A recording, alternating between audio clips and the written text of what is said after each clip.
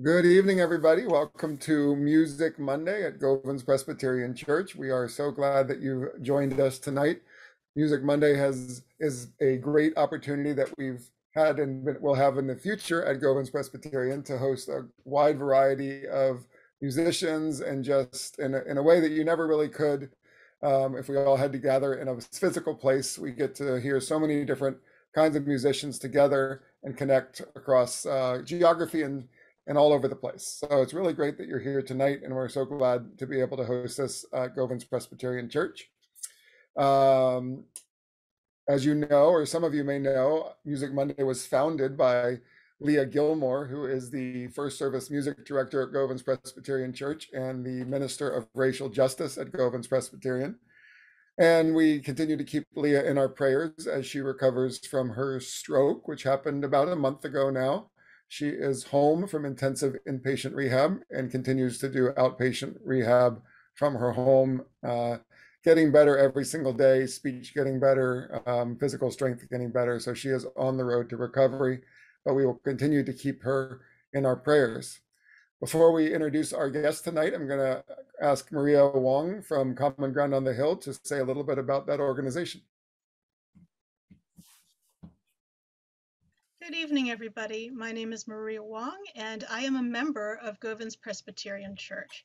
I also work for the nonprofit arts organization Common Ground on the Hill, which is underwriting support for Govans Music Monday performers. We are recording tonight's program as part of our work as a Maryland Folklife Center of the Maryland State Arts Council. The video will be archived on the Common Ground on the Hill official YouTube channel, where you can find other Govans Music Monday programs and many other videos. While you're on YouTube, also check out the Govans Presbyterian Church YouTube channel, which includes recordings of sermons and the Govans Racial Justice Speaker Series. There is a lot of great stuff, so I hope you'll take a look. And now back to you, Tom. Thank you. One of the great things that we do in this format at Music Monday is if you have any questions for the artist as we go along tonight, you're welcome to put them in the chat box. And I, uh, as the host, will well, offer them uh, to Earl and uh, see what kind of wisdom and uh, insight he has to answer to any questions you may have. Otherwise, we will just let him kind of run the show and share his music with us. Let me tell you a little bit about him. Earl White is an award winning musician rooted in the practice, teaching, and sustaining of American string band traditions. Uh, he has a lifetime commitment to sharing this music and to keeping these traditions alive. He's been a prominent figure in the old time music and dance community for more than 40 years. And he's one of the few African Americans playing and perpetuating the music that was once an essential part of Black culture and Black communities across the US. We are thrilled to have Earl White with us tonight. Thank you, Earl, for, be, for being here. Please take it away. Well, thank you very much, Tom. And I want to put a reach out and a thank to all of you for all of your prayers uh, for um, Leah. It seems like uh, a lot of those prayers are being answered, and um, I'm keeping my toes and my fingers crossed that she has a speedy recovery. Um, well, as Tom pointed out, I'm Earl White. I'm currently living in Floyd, Virginia. Moved here uh, roughly about five years ago from um, Santa Cruz, California and um, I chose early retirement five years ago, 2016. But I got to tell you, retirement is overrated. I'm working way harder now than I did before I before I moved. I'm a retired respiratory therapist. Um, shortly after we moved here, we couldn't find any bread like we liked, so uh, my wife Adrienne and I built a bakery on our farm and um, and to our surprise, people have been coming out of the woods, coming out of the woodwork, and the demand for our product has been really good. But you know, what do you expect? If it's a good product, that's basically what happens. I also want to say, unfortunately, Adrienne was going to uh, join me for this, but uh, she woke up this morning and she's been a little bit under the weather, so she's taking a a break and been pretty much sleeping all day in recovery mode. So I want to start this out. I haven't played solo in a really long time, but it kind of brings back memories of um, when I was uh, working at the University of Virginia Medical Center. Uh, there was a children's hospital in Charlottesville, and a lot of what I would do sometimes is I'd go over there and I would play for the kids at the children's hospital. In fact, I invented the wheelchair square dance. Well, it was wheelchairs and stretchers where the uh, staff would push the kids around and I would teach square dancing and, and play tunes. Well, I kind of had it in my head that, well, if I had five tunes on the fiddle, which I had a hundred on the fiddle, and five tunes on the guitar and five tunes on the banjo, I could take up a good hour's worth or actually longer of time. So I want to start this out with a tune for any uh, fiddlers out there or for any aspiring fiddlers. Uh, my tuning on this tune is in um, AE AE. So I'm in a what they call a cross tune um, on my fiddle. I want to play a tune called "Yew Piney Mountain." It's been one of my favorite fiddle tunes now for whoa for seems like forever, but there are many that fall in that category. "Yew Piney Mountain."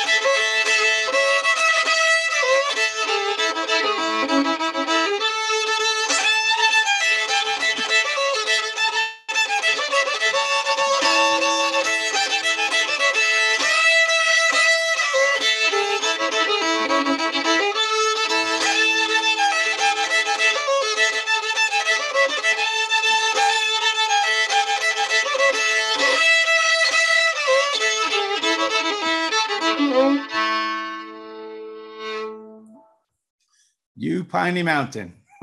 Thank you. Thank you very much. You know, I went on a, um, I don't know if some of you might have heard some of my history along the line, but uh, I was one of the founding and original members of the uh, Green Grass Cloggers. And in those adventures, that's basically how I ended up um, playing old time music and the fiddle in particular. I guess I started out playing a little bit of uh, wanted to play banjo, didn't have a banjo, but it, I was visiting a friend who would, yeah, was into Scruggs style three finger picking banjo. And it was odd because during that period of time when the, when we first started dancing as cloggers, we initially danced only to bluegrass music. So we danced behind Bill Monroe, we danced behind all the big bluegrass bands did, all the big bluegrass festivals. And then one day we were traveling between gigs and was rolling down Route 81 and happened to see a sign that said Galax, Virginia, home of the world's oldest fiddlers convention. And of course, you know, we pulled in to check it out. Well, as we're standing there, and hardly standing there because most of us had these little dancing boards that we called a step a tune.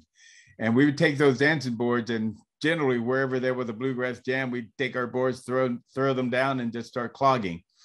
And as it was, we followed suit, jumped out of our bus, pulled up to the first uh, bluegrass jam, threw our um, boards down, and just started dancing.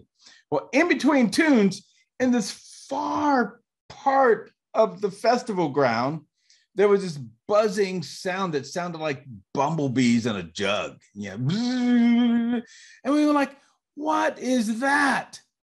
Well, needless to say, a bunch of us went in search of that sound. And what we found was back in the far corner of the festival ground, they had, and because it was at a fairground, they had uh, stalls where they kept uh, uh, horses and uh, cows and, you know, basically prize animals for the fair.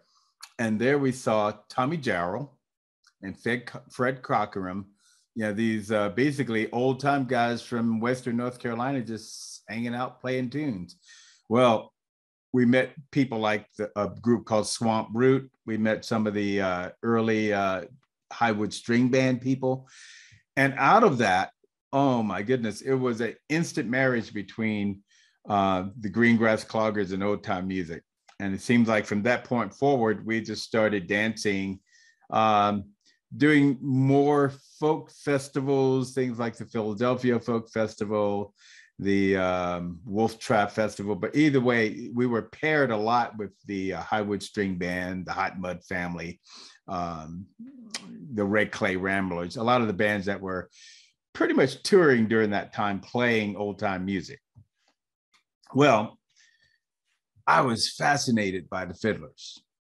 And it wasn't until 1975 we were dancing in Evergreen Valley, Maine. And you know, and it's amazing because as Green Grass Cloggers, we were paired with some of the most unusual uh, groups or bands. So we were dancing in Evergreen Valley, Maine, and there was uh, Seals and Crofts, uh, members of Jefferson Airplane, Little Feat, Alice Cooper, and the Green Grass Cloggers. and it was the experience that I had was seeing, I was in the green room and there was a black fiddler who played with both Little Feat and Jefferson Airplane. His name was Papa John Creech. And he was just sitting in the corner, just playing the instrument as a fiddle. Well, you know, I had seen in my travels and growing up in Newark, New Jersey, I'd seen many uh, black violinists, but never actually having seen a live black person playing the instrument as a fiddle. And I looked at him and I said, wow, I want to do that. I want to do that. And 1975, Christmas of 1975, my best friend brought me a fiddle that belonged to her uncle. No, it belonged to her brother-in-law's uncle's grandfather. And it had been ordered through the Sears and Roebuck catalog some hundred plus years ago. But anyway, they said I could use it. And from that point forward, it became an appendage. And here I am. so moving right along, I'm going to tell you how I also came to a collector of fiddle tunes. But before I do that, I want to play you another tune. So I generally tell people that, you know, music is a bridge. Music can get you in trouble and it can also get you out of trouble. Well, it got me very much out of trouble once. Uh, I was a traveling respiratory therapist and I used to travel up and down Route 81 um, between New York and Virginia. And when I first started playing the fiddle, my bowing style was was a long bow style, and I would hear people saying from time to time, playing at festivals in the dark, "Don't stand on that guy's right side because he'll beat the devil out of you with his right hand." First, I didn't quite know how to take that, but anyway, I laughed it off. But anyway, as a result of driving that route between New York and um, and Virginia, I would play my fiddle. I would play my fiddle while I was driving, and I used to have this nice little bare spot where the hair had rubbed off on my left knee from steering with my knee. Well, fortunately, Route 81 didn't have a lot of curves, mostly like gentle curves. Well, there I was cruising down Route 81 and I had my window up because if I had the window down, I had to crank the radio, the uh, CD player up really, really high just to hear the music. And a lot of it, because I was in my learning stage, I was basically mimicking what I was hearing. So there I was playing away. And what I didn't realize was that the faster the tune, the faster I was driving. I just wasn't aware of the fact that my foot was just down on the metal like that. So anyway, I happened to look over and there was a patrol car right next to me. And the guy looked at me and he just shook his head and he motioned for me to pull over. Of course, you know, I was just scared, shaking in my boots, and I just knew he was going to put me under the jail. Well, the guy walks up, officer walks up, and he looked at me and he says, Now, son, please tell me that I I didn't see you playing the fiddle. I've been tracking you now for some 10, 15 miles, and you were cruising at 95. Well, my fiddle was on the seat, so I I just said, yes, officer, you did. You saw me play. I was playing the fiddle. I'm really, really sorry, but I was playing the fiddle. And he turned around and he started walking to walk away. And he said, just get out of the car. Get out of the car. So I got out of the car and I started to follow him again. I'm shaking in my boots, thinking, "Oh no, oh no, what have I done?" And he looks at me and he turns, he turns around, he looks at me and he says, "No, bring your fiddle. I, I don't even know how to write this up. Just bring your fiddle." So I grabbed my fiddle, walked over to his patrol car, and generally what they do they, if they're stopping someone, they will open their intercom in case they need to call for help. So he opened his intercom and he said, "Now play me a fiddle tune."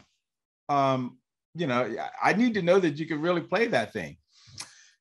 At which point I played him this tune, and it's called Devil in the Straw Stack.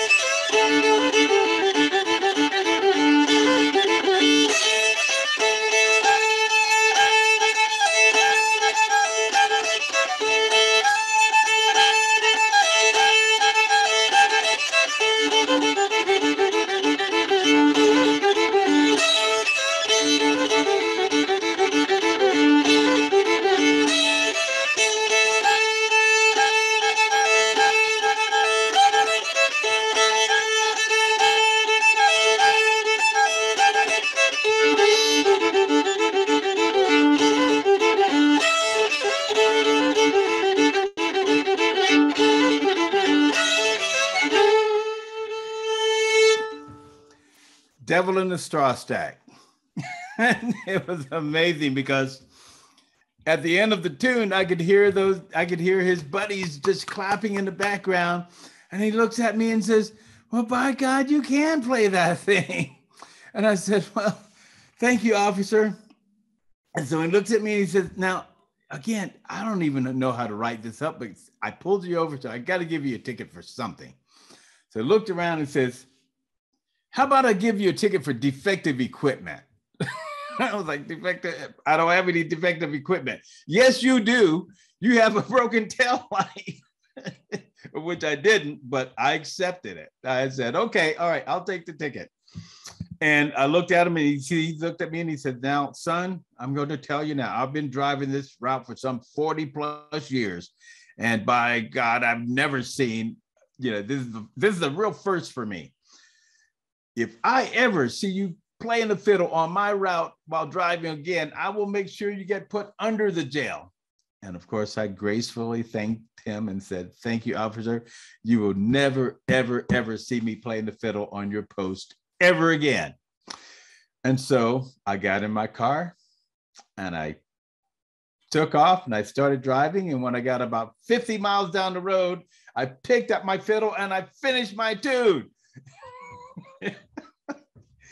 and that's my story, and I'm sticking to it. But uh, I say those were the days. Uh, once I got married and started having kids, I didn't do that anymore.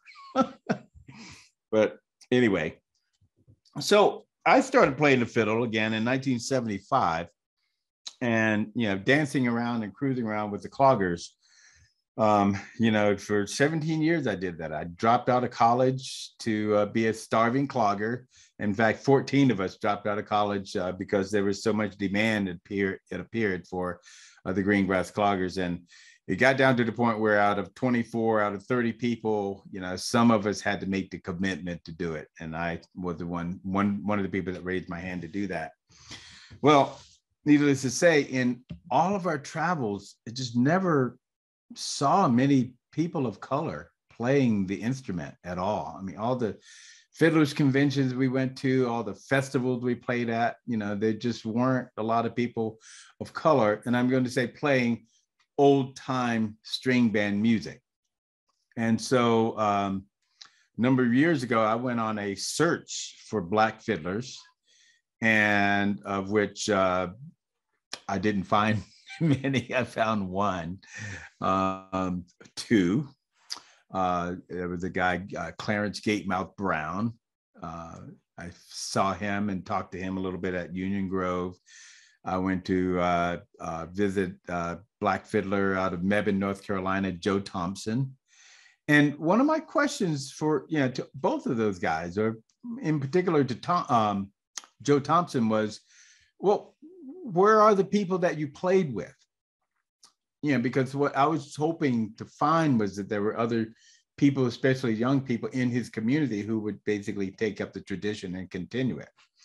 Well, none such. He said, told me that either the, you know, most of his cousins and the people that he played with had all died. And that he had one grandson who every time he took out his fiddle, he had an interest, he would get up and dance. So that particular grandson to look promising. Well, again, in my search, what I found was that there were a lot of fiddle tunes, a lot of fiddle tunes that I had been playing for years that had pretty very much come right out of the black community. And um, needless to say, uh, the people, the, the, the sources for a lot of those tunes, you know, the people were not necessarily giving credit for us for it. Um, we were dancing at the Angiers Festival once, and the Bill Monroe band was backing us up. And Bill Monroe walks up to me and he says, You know, you remind me a lot of this fella that I used to play with many, many, many years ago. But he didn't mention a name. And so again, in my search, I find out that there's this guy, his name is Arnold Schultz. And uh, he was had been credited for uh, basically playing a lot with Bill Monroe, being responsible for Bill Monroe getting his first gig, which was playing for a square dance. And later on, again, in my search for Black fiddlers, you know, I f- started to find more and more information about Bill Monroe and his association with Arnold Schultz and how he was very, very uh, much influenced by the playing and from playing with Arnold Schultz. then you find people like um, Leslie Riddle, who traveled a lot around a lot with AP Carter from the Carter family. Well, Leslie Riddle basically for AP was the gateway into the Black community and a lot of the mountainous communities in the area that he lived in. And, um, you know, from what I, some of his writings was that the Carters were not very prolific writers, but they basically had a tendency to go into these communities and then whatever they came across, they would basically make it their own. So, anyway, I'm still searching. I'm doing a nationwide search. I know they're out there somewhere, but um, you know, unfortunately, a lot of the reason that you can't find them is because there's not a lot of documentation. There's not a lot of credit given to a lot of the black fiddlers and a lot of the uh, old time string band music that comes out of the black that had come out of the black community. so with that, I'm going to play this tune here. It's called Riley and Spencer. And it has to do with uh, prohibition times, uh, these two towns in North Carolina, uh, Ry- I'm going to say Riley and Spencer, but it may very well be Raleigh and Spencer. And part of it is like people like me, yeah, growing up when I was first starting to play the fiddle, yeah, we were listening a lot to old, old 78s. And, you know, when it was somebody playing who hardly had any teeth, it sounded like either Riley A. Spencer or Riley A. Spencer. so you have a choice. I've seen it written both ways Raleigh and Spencer and Riley and Spencer. And it sounds something like this. And for any aspiring fiddlers out there, the tuning on this one is uh, uh, D, A, D, D. So there's a lot of D in this tune and um, I like it kind of gives that gives the fiddle a nice little haunting sound or texture to it. So.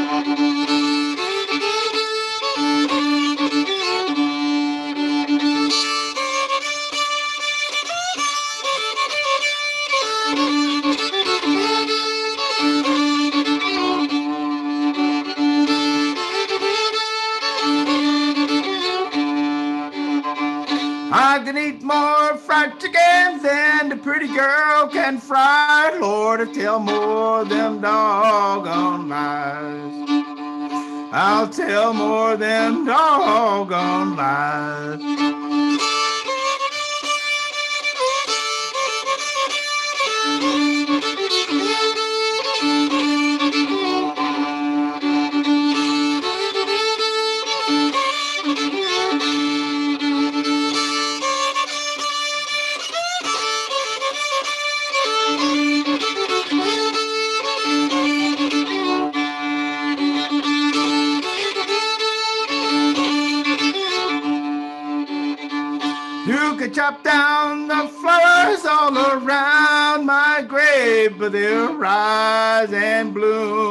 again.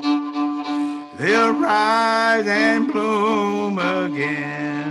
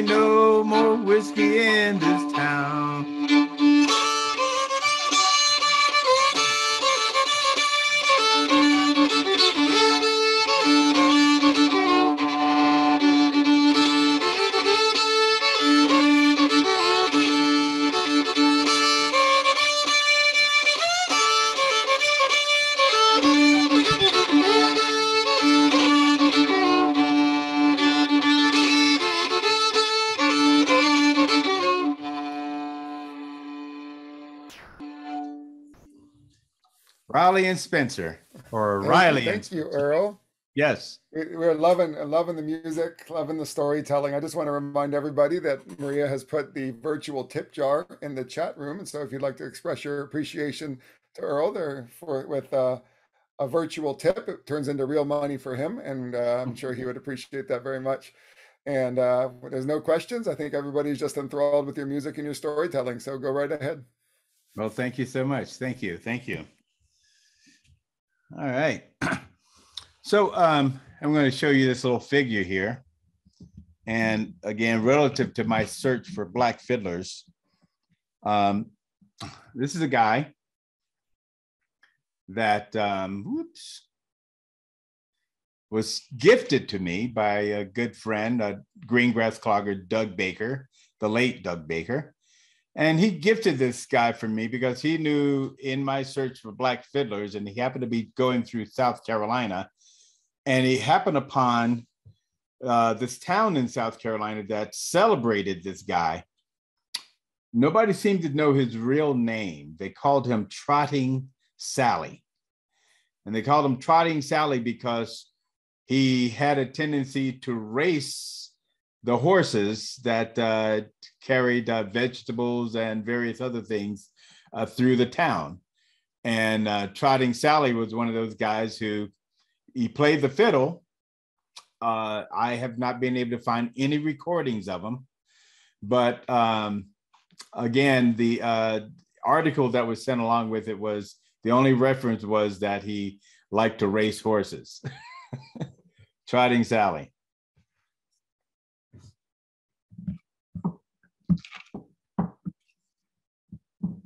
And to that, I want to introduce you to this this young guy.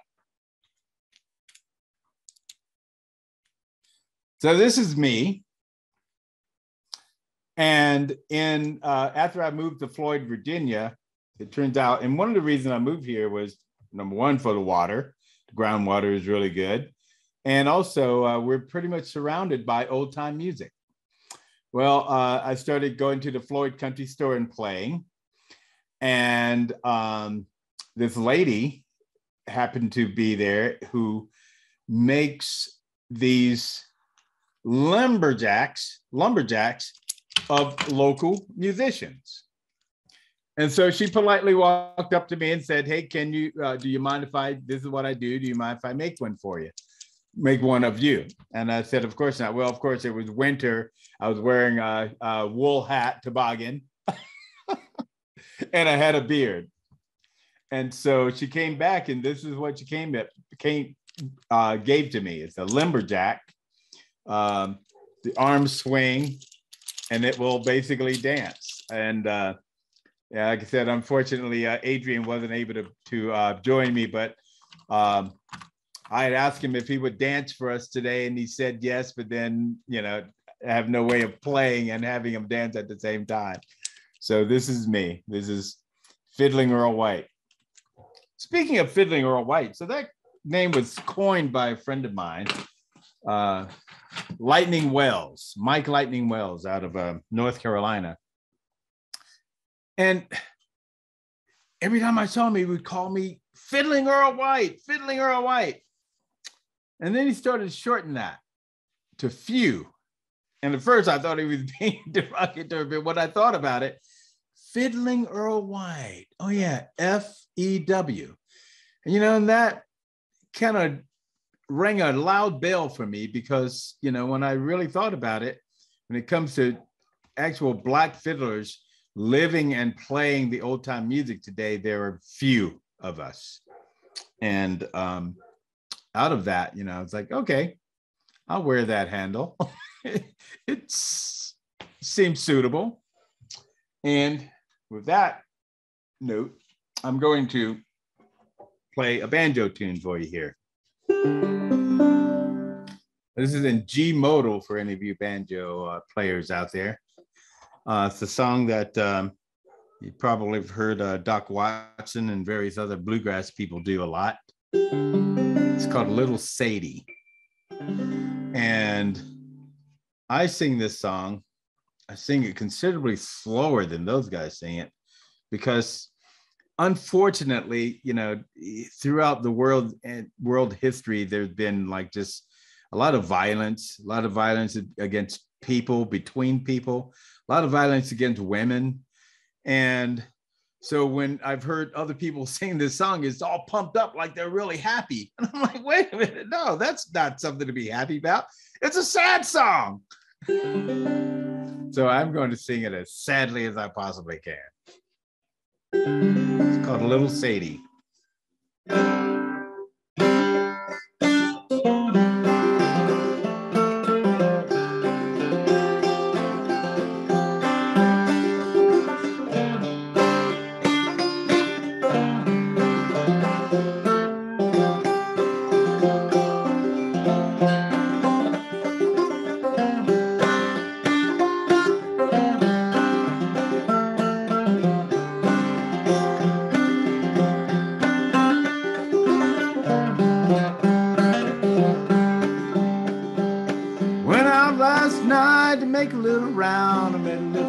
And I shot her down. Went back home, got in bed, 44 pistol under my head.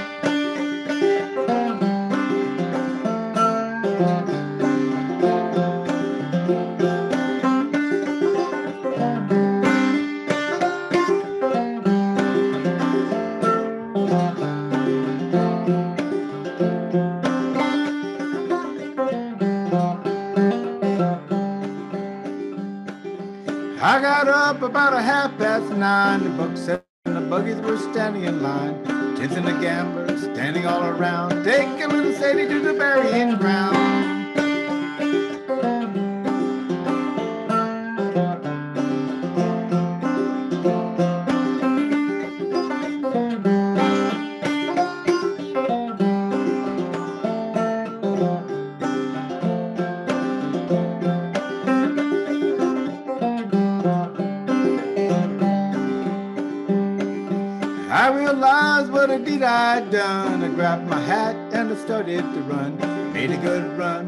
Run,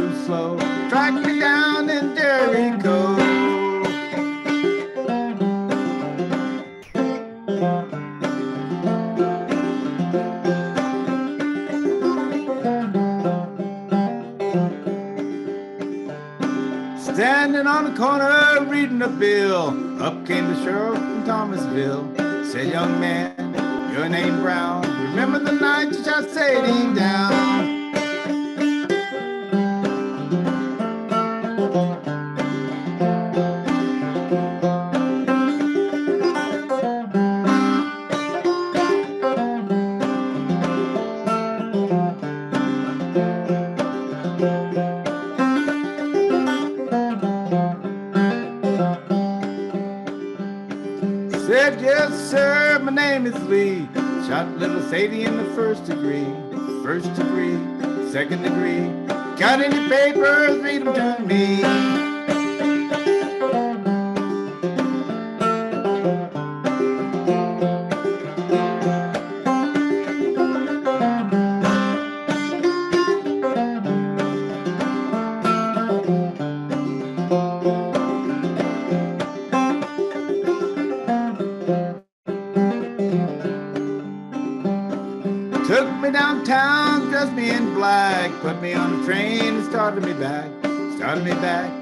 Back to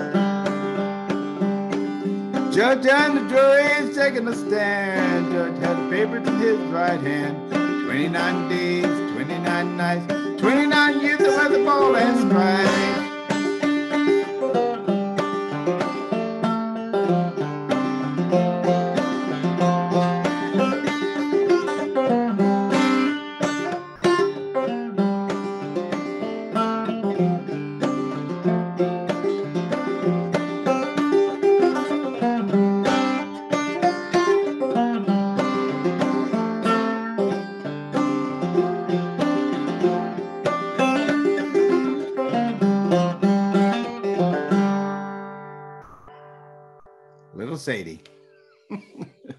Thank you. Thank you very much.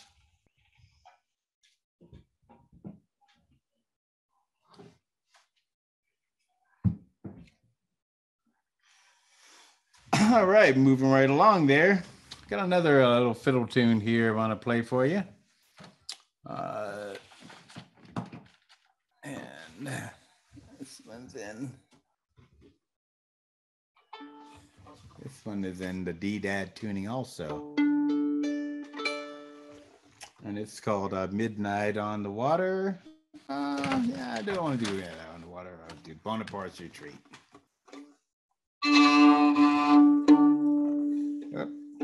Generally sounds better when it's really in tune.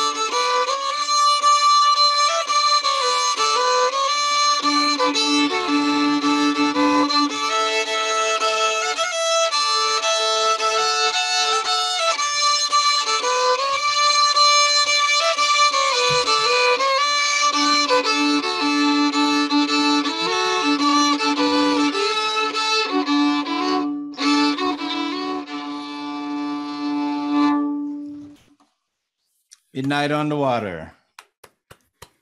Thank you, Earl. Thank you. Thank you. Thank We- you very much. Uh, we have a question from the in the chat room. uh, okay. from Deb Smith is wondering uh, what you were studying when you dropped out of college and where were you going to school at the time? I was in school. I was at East Carolina University, and I, my pursuit at that time was uh, I wanted to be an actor, and um, you might remember that uh, series that was on television, uh, Hogan's Heroes, and I had an aunt who uh, went to school, went to college with the black guy uh, that was in the in that show. And um, i was so impressed by you know by that that i decided that's what i wanted to be. Ivan dixon was his name.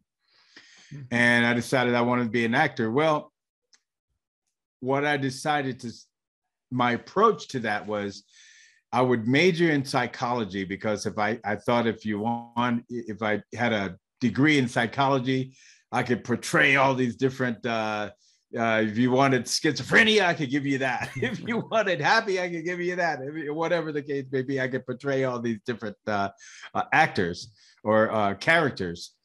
And so, what ended up happening was when I started clogging, it took me a little while to realize that, you know, and here I was living my dream of being in entertainment, but it just wasn't the route that I thought that I was going to do. So Yeah, that's what I was doing, uh, studying at that time.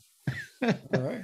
Hi, Walt. And uh, uh, Maria has uh, noticed that you the use of the drone in your music, and she says, "Are these tunes adapted from Mountain Dulcimer tunes, or is there are there is there a relation between them?" Yes, there is a relation between them. So um, you notice a lot of the uh, old time tunes come right also out of the uh, West Virginia, uh, Western North Carolina, that region where you had a lot of people of Irish and Scottish descent.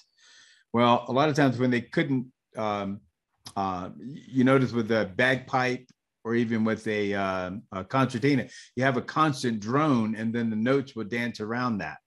Well, especially coming out of uh, West Virginia, and when you tune that fiddle, like where this one is tuned in cross tune A E A E, uh, part of the essence of of the tune is keeping that drone.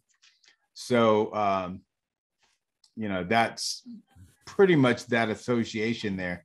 Also, a lot of it too was um, you know black slaves living on plantations you know if you played music and a lot of times the uh, the uh, plantation owners would either teach or share the music with uh, or with um, uh, slaves because if these slaves yeah learn the music then they could be commodities to uh, they were commodities but they could be rented out to other plantations to um, uh, to entertain and play music well the result was that a lot of these slave musicians also were the ones who had more of an opportunity to escape traveling between one plantation to another. And when it comes to the Appalachian region, well, the place that a lot of these uh, black musician slaves found refuge was in the Appalachians, and especially in the mountains. Uh, the uh, Native Americans took a lot of men, a lot of the uh, Scott and Irish, more Irish, who were settled into the hills, were also people who um, were considered the lowest of the low. and so you know they found basically they found common ground with these people and and invited them in, in and gave them refuge well you know blacks playing the instruments and now joining with the uh, the Scotch and the Irish and and joining those traditions, that's where a lot of that basically comes out of comes from. Wow, wow, that's great. I, I knew I like this kind of music for a reason. That's my Scotch, my Scotch Irish heritage, I guess. Um, right. I'm gonna we're gonna let you uh, close out within the next uh, seven minutes or so. I want to just okay. welcome anybody who's not familiar with Govans to uh, any other ways that you want to connect with us. Maria has put some information about how to connect with Govans and get on our email list in the chat box, and you can do that and find more about Music Mondays and all the other kinds of programming we do. This is going to be our last Music Monday for a while. We're going to take a little bit of a hiatus as Leah heals, and still she's back and uh, ready to inspire us with um, more and more gifted musicians. But for for now, you are going to be our our last Music Monday for a while. So why don't you uh, uh, give us whatever you like for the next uh, five five or six minutes before we close out? Okay, so you know I moved here. I bought a farm in Floyd, Virginia, uh, about ten years ago and for the first five years living in California, we were pretty much back and forth. We would try to come and and uh, feel the essence of every season in this area. And then, um, as I said earlier, 2016, I chose early retirement, and we just packed up and moved to Floyd, Virginia.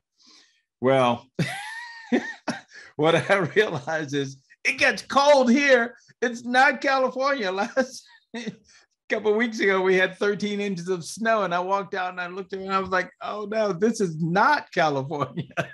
It was a rude awakening but anyway we're surviving. Uh, our bakery is just kicking our butts. Uh, you can check us out at uh, bigindianfarm.com and i we have 72 acres here and out of that you know there's a lot of pasture so i'm also raising icelandic sheep uh, for the purpose of uh, eating the grass so I don't have to cut it. But what I find is that uh, sheep don't eat much.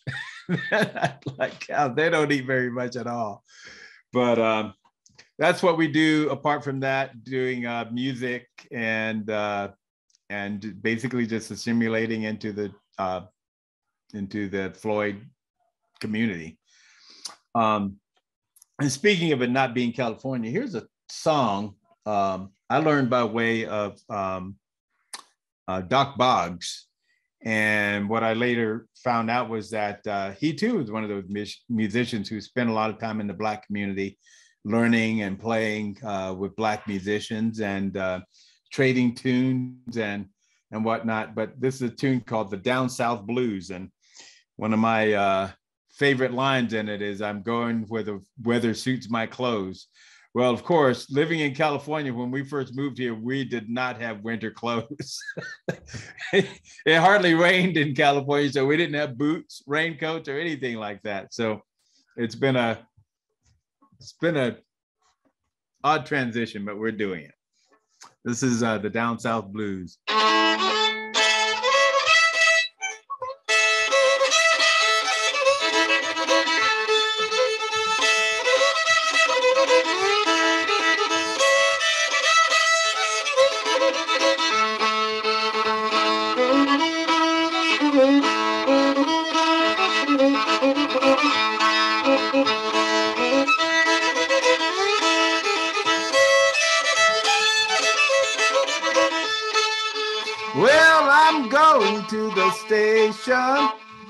I'm gonna catch the fastest train that goes. Cause I'm going down south. Where the weather it suits my clothes.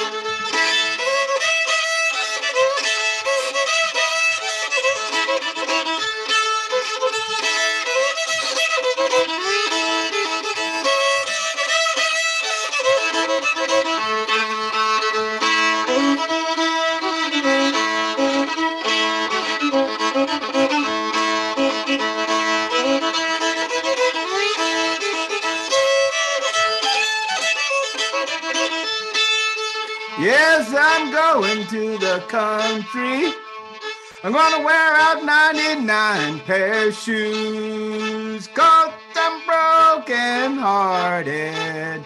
I've got those down south blues.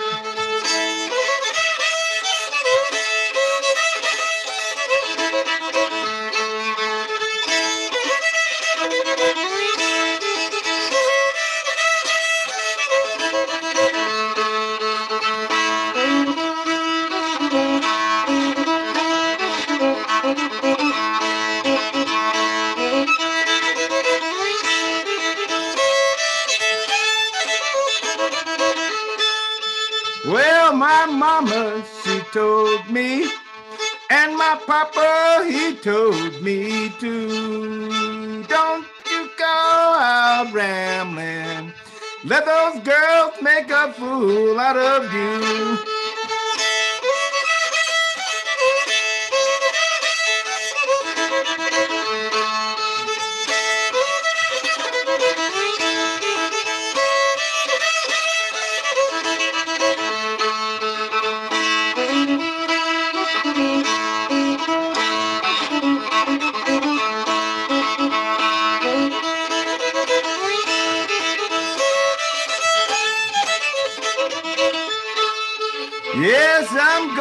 To the station. I'm gonna catch the fastest train that goes. Cause I'm going down south. Where the weather it suits my clothes.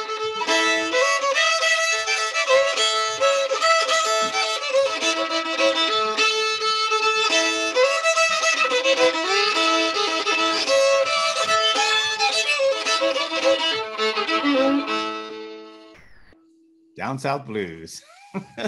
thank you. Want to thank everybody for tuning in. Want to thank Govans for inviting me and uh, Leah. Good to see all you folks. See Thank you you soon. so much, Earl.